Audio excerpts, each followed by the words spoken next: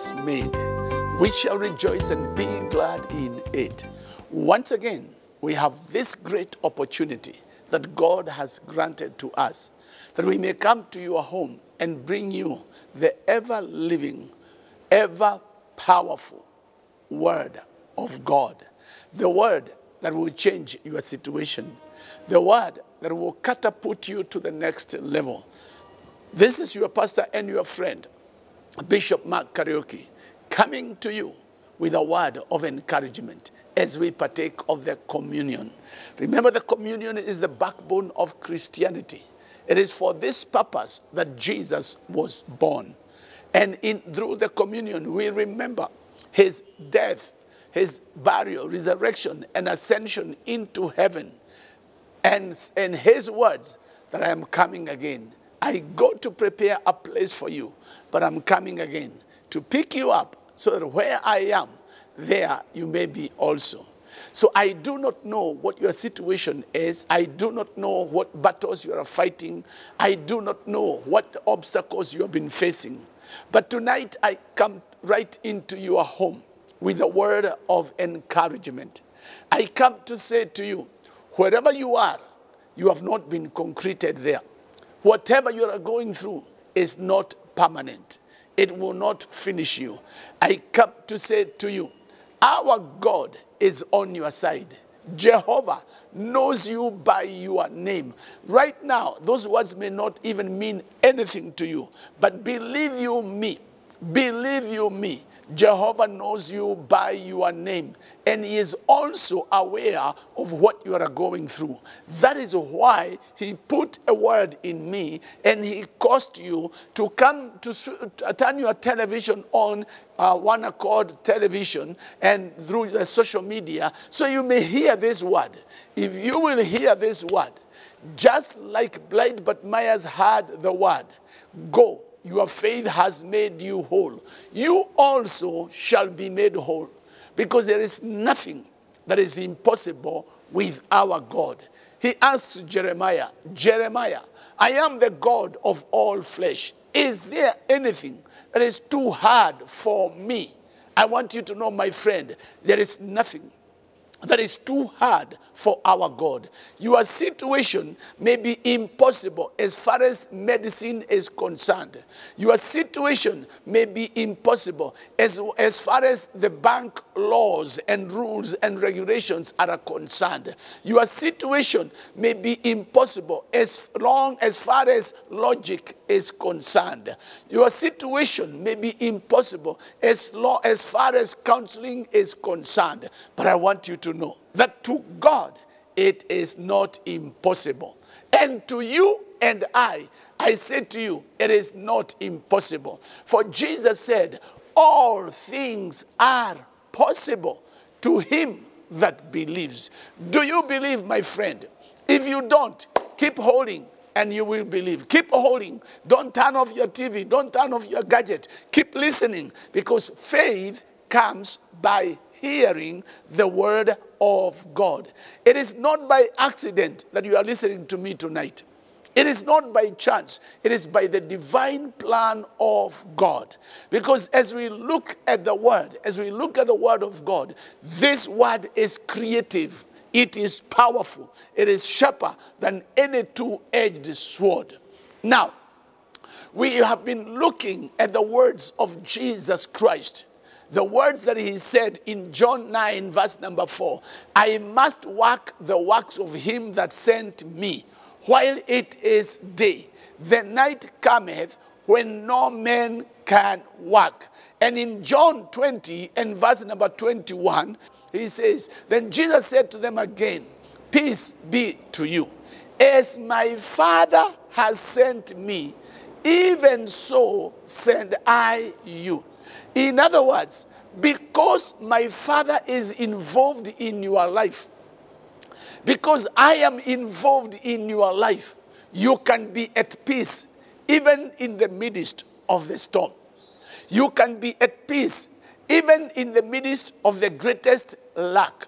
You can be at peace Because even in the midst of the greatest disadvantages or discomforts in life, I came to say to you, my friend, may the peace of God be upon you. Why? You have an assignment. As my Father has sent me, even so send I you. I am sending you as I was sent. And be, uh, since I had peace all through, in Pilate's court I had peace. In Herod's court, I had peace. Amongst the Jewish religious people, I had peace. In the storm, I had peace. Wherever I went, I had peace. I, I want you to know, he's saying, just as I had that peace, may you have that peace in the name of Jesus Christ. Why? Because you have an assignment. And your assignment cannot be done by anybody else. Jesus said, John 9 and verse number 4, he said in John 9, I must work the works of him that sent me. In other words, I came with an assignment, I have done my assignment, and now I am giving you an assignment. And this assignment has got to be done with haste. You've got to do it with haste. You've got to do it with speed. This is the assignment that you have. Just as Joshua was given an assignment by God, God gave Joshua an assignment after the death of Moses. After the death of Moses, God tells Joshua, Moses, my servant, is dead. Now, therefore, arise Go over this Jordan, you and all these people, to the land which I give to them, to the children of Israel. In other words, Joshua, your assignment is not stagnation. Your assignment is not staying where you are. Your assignment will not be prevented by the Jordan. Your assignment will not be conditioned by your age. Your assignment is not conditioned by your education. Your assignment is as a result of my confidence in you. My friend, God has confidence in you. God believes in you. Therefore, He has given you an assignment to do the works and greater works, the works that Jesus did, and greater works than those. Remember what Jesus says in John 14 12. In John 14 12, Jesus declares and says, Verily, verily, I say unto you, he that believes on me, the works that I do shall he do also and greater works than this shall he do because I go to my Father. In other words, I have given you an assignment to do what I did and even more than I did. Therefore, my friend, know this in your knower, know this in your system that you have an assignment. And we did say that to have to, for you to succeed in the assignment that God has given you, just as Joshua was told, the same way you are told. Number one, be strong. Number two, be courageous. And we have looked at this too. We have looked at this too, and we have, I don't want, I don't intend to get back into it, but being strong means holding on to God, holding on a little bit longer holding on without giving in. Don't give in. Don't give up. Hold on to that righteousness. Hold on to the word of the Lord. Hold on to your confession. Hold on to the word that comes out of your mouth and be courageous. Being courageous, we said, does not mean the absence of fear. No, it means you mastering mastering your fear. Why? Because you are strong. How strong are you, or what has made you strong? The Bible tells us in Daniel that they that know their God shall be strong and they shall do exploits. Now, the knowledge of God, the knowledge of God brings in strength into your life. I'm not just, I'm not talking about physical strength, but I'm talking about strength to endure any difficult, strength to overcome every opposition. When you know you are God, when you know you are God, then you walk in strength. You are a courageous. Then Hosea says in Hosea 6 and verse number 2 Then shall we know if we follow on to know the Lord. Then shall we know. Then shall we know if we follow on to know the Lord. So once you know the Lord, once you know the Lord, once you know God, what is going to happen? what is going to happen? You are going to be strong and you are going to do exploits. It is time for your exploits, my friend. I came to stir you up and say to you, you have been local long enough. You have been mediocre long enough. You have been marking time long enough. By the communion tonight, I challenge you. I challenge you that you will rise up and start doing exploits because the, uh, your assignment needs great exploits or leads to great exploits. Your assignment leads to great exploits, and that ability is already in you. It's already in you. It is incumbent or incumbent in you. It is within you. It is in your DNA since you got born again. The anointing for exploits is in you. Exploits in business, exploits in family relationships, exploits in wherever you go, exploits in whatever you touch to do. It is within you. Oh, glory to God in the highest. I pray that your eyes would be opened up and capture this word and know that God is on your side. So Joshua was told, okay, Joshua, be strong, be courageous. You have got to be strong and you have got to be courageous because you are going to divide the land to these people. As I was with Moses, so will I be with you. No man will ever stand before you. Therefore, go knowing that I am with you. And no opposition will succeed before you. In other words, I want to say to you for you to succeed, apart from being strong and being courageous, you also need to have the right attitude. You need to have the right attitude. This is the third thing that we, I'm, I'm giving you this day that you need to have the right attitude if you are going to succeed. Now, the question we ask, we may ask ourselves is this What then is attitude? What then is attitude? And before, before I tell you what attitude is, let me give you some, some statistics that have come out of some scientific research. Out of some, some scientific research, it is said, it is said that uh, out, out of the people, out of the people who quit their jobs, out of the people who quit their jobs, out of the people who leave their jobs, 4%, 4% quit their jobs either because they have died or they have moved away from where the job was being done. Only 4% will quit their jobs because of death or because of transfer. That is 4%. Now, uh, uh, capture this, capture this, please hold this. Then the, the research says 14% 14% of those people who quit their jobs quit their jobs because they are dissatisfied.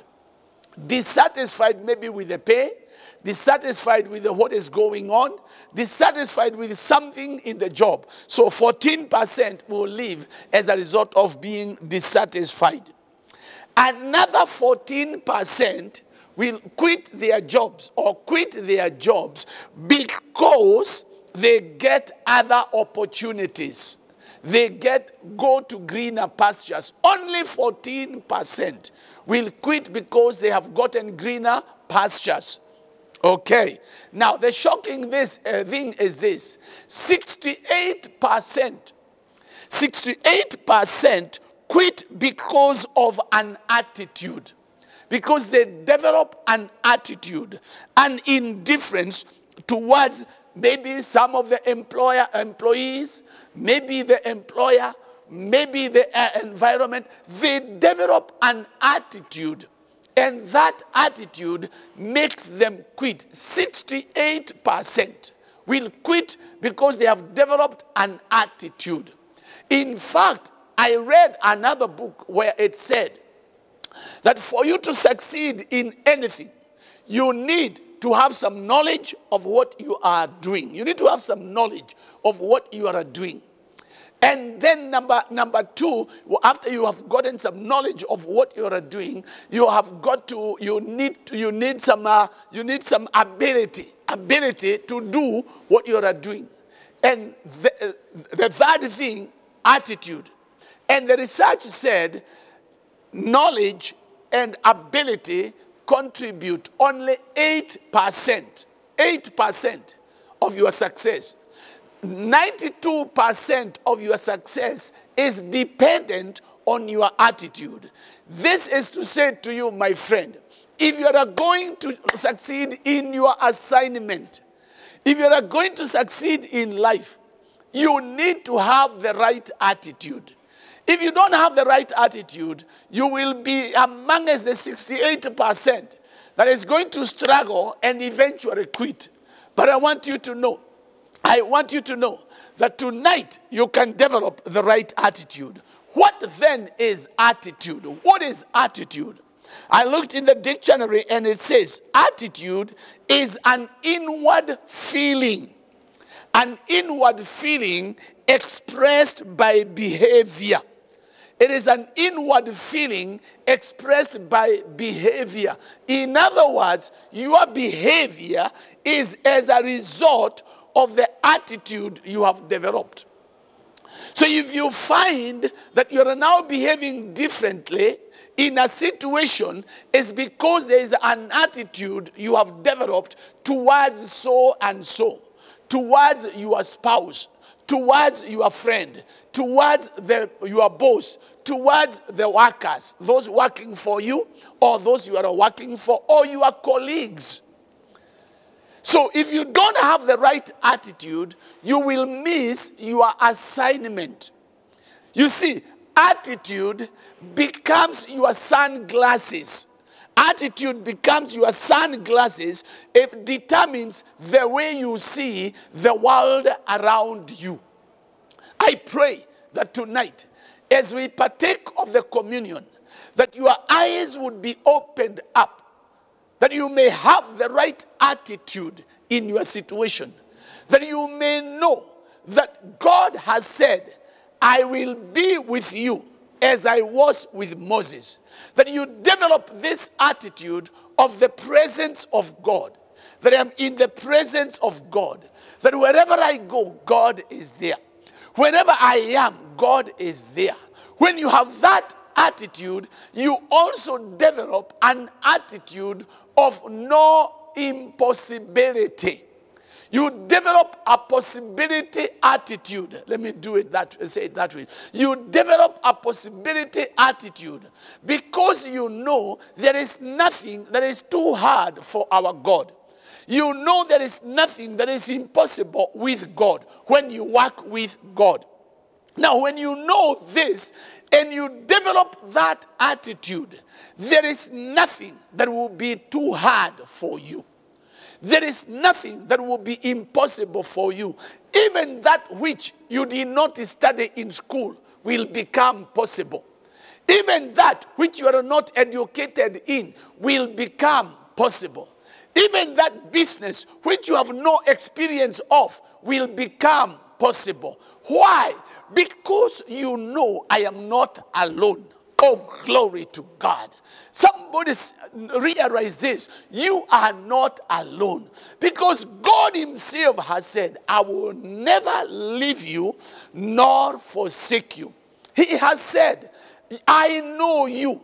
I have called you by your name. You are mine. M I N E. Mine. Capital letters. Jehovah says, You are mine, my friend. I came to encourage you tonight. I came to encourage you tonight and to say to you, Jehovah knows you. You belong to Jehovah. You are a God's property. He cares for you. He is concerned about you. Come on. Square up your shoulders, lift up your head, put a smile on your face. Get out of that door knowing Jehovah is with me. Get into that office knowing it doesn't matter how many people may be against me, God is on my side. And remember the words that Elisha told his servant that those who are for us are more than those who are against us. So develop an attitude of God consciousness.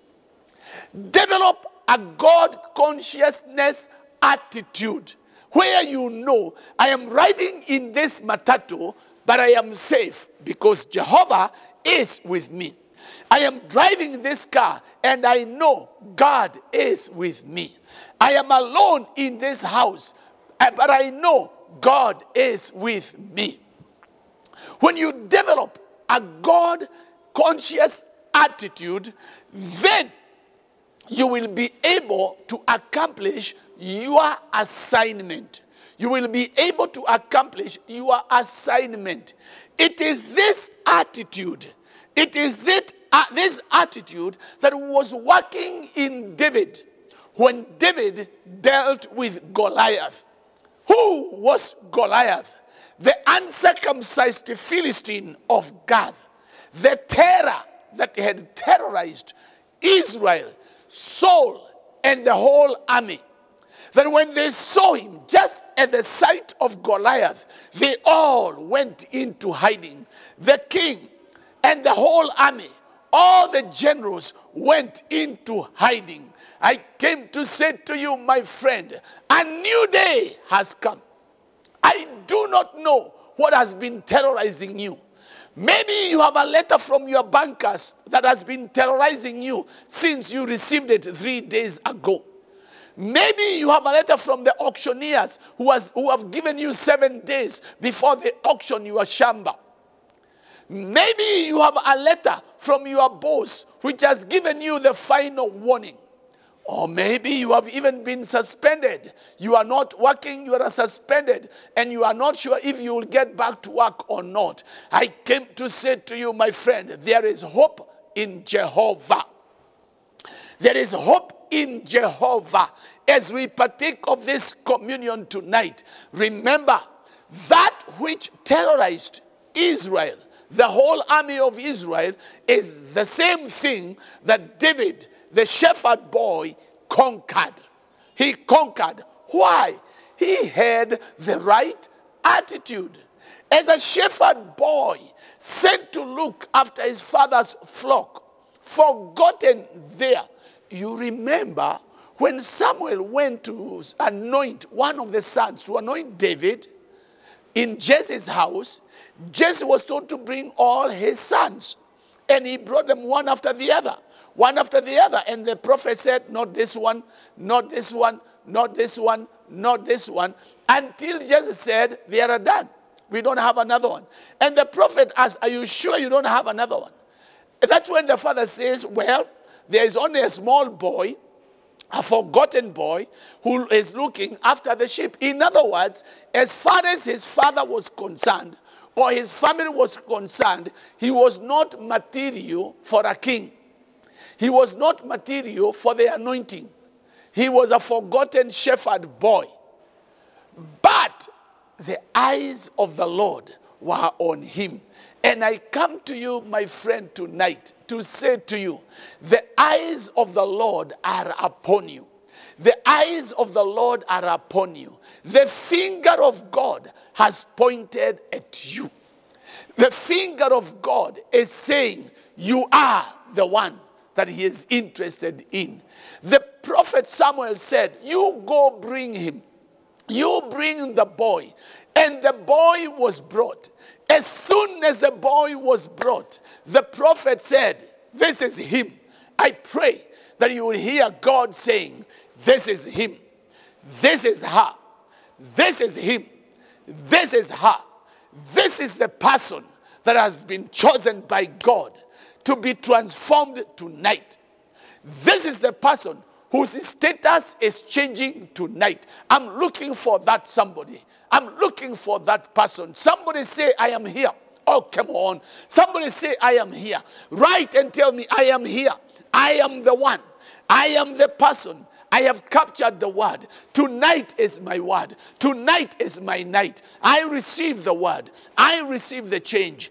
I am going for it in the name of Jesus Christ. When you have a winner's attitude, when you have a God conscious attitude, there is nothing that will be difficult for you, that will be too hard for you.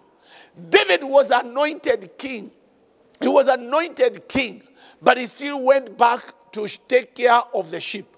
He took care of his father's flock. When the bear came, he killed the bear and saved the lamb. When the lion came, he killed the lion and saved the lamb. Why? He had this attitude that God is with me, that Jehovah is with me. Oh, glory to God. Because of that attitude, when he went to the battlefield to take food for his brothers, and he saw Israel running away, and the king running away, hiding in their tents, David was agitated. And he knew this Philistine, this Philistine is, has no covenant with God. But I have a covenant with God. Because of that covenant he had with God, he said, This one I will fix. This one I will take care of. Remember, I have told you before, and I will say it again. When Saul and Israel looked at Goliath, they said, Oh, this is too large. This, this man is too big for any one of us to handle. This giant is too big for us to handle. In other words, we can't attempt. But when David came, even without any armory, without any weapons, he looked at the giant. And David must have said within him, Ha, this giant is too big for me to miss. This one, even if I closed my eyes, I can't miss. This one, I will deal with. I will deal with this one. Why? Because David had a God presence or God consciousness attitude. He was conscious that God is with him as God was with him when he killed the lion, when he killed the bear. He had a testimony, Bwana. My friend, I want you to know that our God is with us. Jehovah is with you right there where you are. I do not know whether you have come to a point where you are saying, I am forgotten.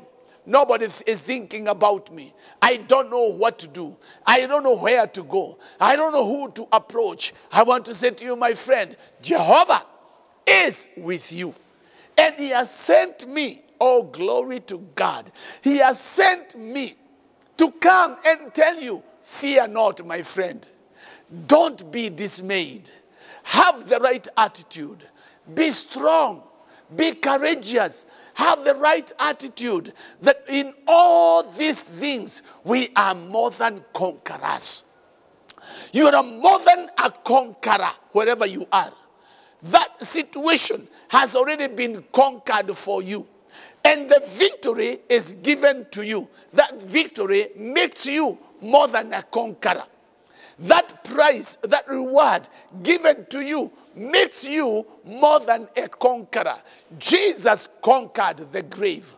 He conquered the enemy. He is the conqueror. He got that victory. He gave it to you and I and said, Go in my name. Go in my name. Cast out devils in my name. In other words, you are more than a conqueror because the victory has been given to you in the name of Jesus Christ. And as we partake of the communion tonight, as we partake of the communion tonight, you can walk in that victory. You can walk in that strength in the name of Jesus Christ. David looked at the giant, and because he had the right attitude, he told the giant, I am going to finish you. David was not intimidated by the words of the giant. The giant looked at David and says, Am I a dog that you are sending a boy to me with the sticks? Am I a dog? What do you mean? This one I am going to feed his carcasses to the birds of the air. And the whole of Israel, you will be, the, your carcasses will be eaten by the birds of the air. But David was not intimidated by the words of the giant because his God is greater than the words of the enemy. I do not know what the enemy may have been telling you. I do not know what conversation the enemy has been bringing to you, but I want you to know that our God is greater than the enemy. Our God is greater than the words of the enemy. So David told the giant, Giant, you are coming against me with a spear and a javelin and with all your armory, but I am coming against you in the name of the Lord God of Israel, whose armies you have been defying the last 40 days. I want to say to somebody, the 40 days of your enemy are over. Look at your enemy and tell your enemy. Look at your challenge and tell your challenge. My challenge, my challenge, my challenge. Your 40 days are over. Today, you are coming down. You are coming down you are going down in the name of the Lord God of the armies of Israel. Glory to God. I want to say to you, my friend, we have a name. This name of Jesus, it is the name above all other names. It is the name of power, the name of grace, the name of wisdom, the name of victory. We have this name. And at the name of Jesus, every knee shall bow and every tongue shall confess that Jesus is Lord. My friend, instead of waiting for that day when every knee shall have to confess, why don't you confess tonight? Why don't you declare Jesus your Lord and Savior? Have you received him as your Lord and Savior? I want to pray with you that you may receive Jesus as your Lord and Savior right there where you are. Please pray with me and say, Father, in the name of Jesus Christ, this day I come to you. I acknowledge that the work done at the cross of Calvary by Jesus Christ was for me. And right now, willingly, of my own accord, I open up my spirit that you may come in into my spirit and make me your habitation. I thank you, Father, for saving me now. Because I pray in Jesus' name, amen. Father, in the name of Jesus, I thank you for this viewer who has prayed that prayer. I pray that you put the seal of the Holy Spirit upon this viewer, that they may know that they have been born again tonight. Give them the courage and the confidence to testify and tell others that they are born again. Let the hunger for your word and your spirit be upon them tonight. In Jesus' name, Amen. God bless you, my friend. Congratulations, you are now born again. Now, as we partake of the communion, we're going to deal with impossible cases. Whatever impossible case you have, Whatever Goliath is standing in front of you, whatever challenge you are facing, we are going to deal with it tonight in the name of the Lord God of Israel, of the armies of Israel. In the name of Jesus Christ, we will deal with every difficult case tonight in the name of Jesus Christ.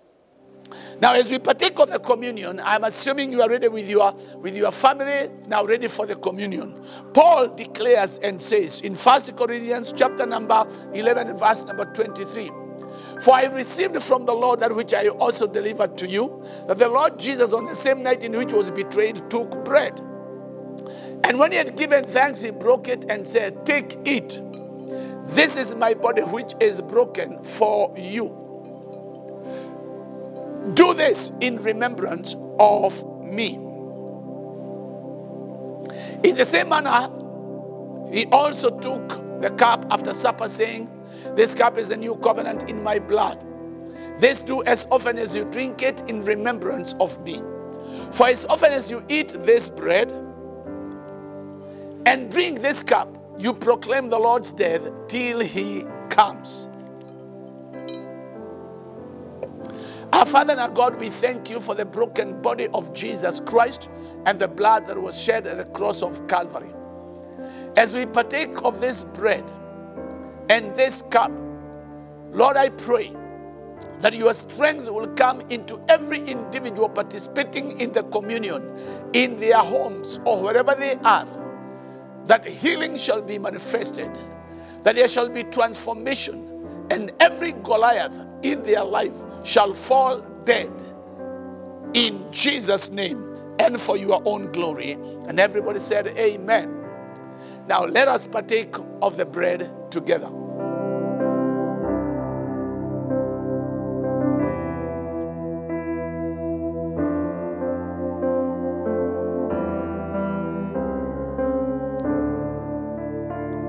Let us partake of the cup together and deal with every impossible case in your situation.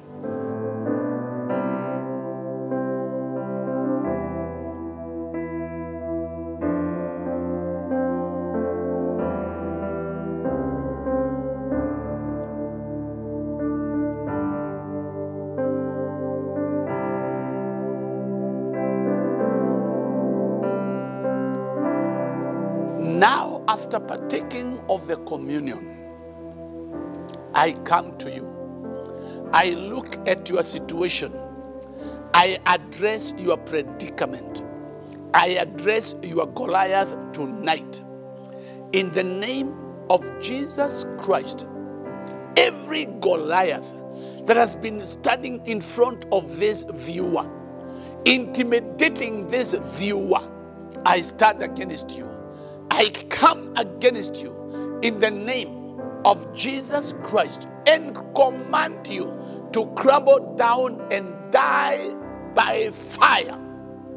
Now, in the name of Jesus Christ, every sickness and disease, every spirit of infirmity, every failure and frustration, every manner of evil that has been pursuing this believer, this viewer, this individual, I challenge you now in the name of Jesus. And I command you to die from the root in Jesus' name.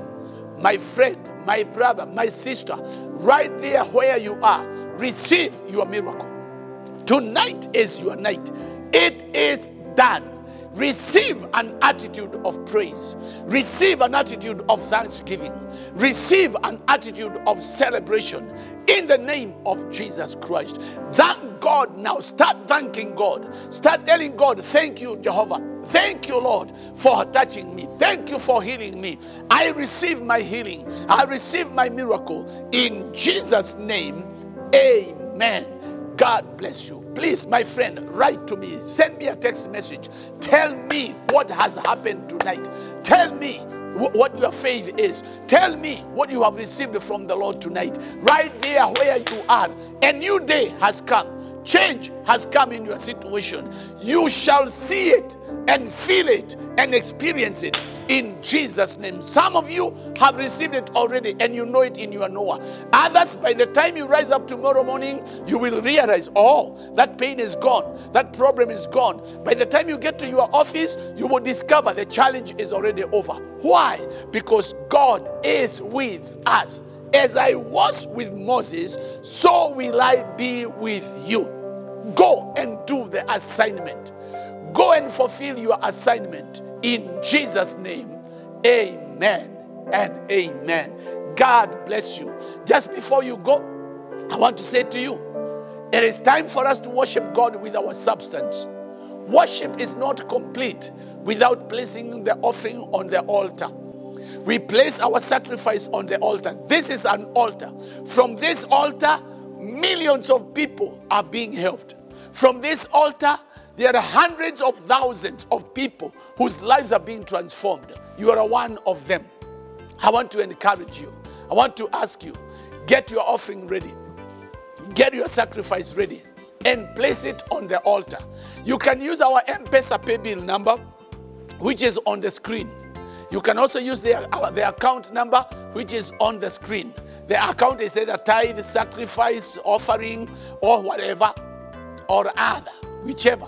But make sure you place your offering, your sacrifice upon this altar. From this altar, life is flowing into your situation. When you do that, please send me the confirmation. Send me the confirmation and I will get back to you. May the Lord richly bless you. We love you and we value you. This is your pastor and your friend, Bishop Mark Kariuki, coming to you through One Accord Television and from the house of bread and the majestic city. At the house of bread, we gather together at the KPCU building every Sunday from 8 in the morning. We have our first service, 10:30 we have our second service. And at the same time at the majestic city, beyond Ruai on Kangundo Road after Ruai, at the Makongeni stage, we have a tent there. Our, our first our service there starts at 10:30 is a power packed service where the word of God is taught in simplicity. It doesn't matter how bad you may be, you may have been in school, you will receive the word, it will transform your life. I would love to welcome you, I would love to see you, I would love to fellowship with you. Come and listen to the word. If the word does not change you within six months, look for another church. You look for another church.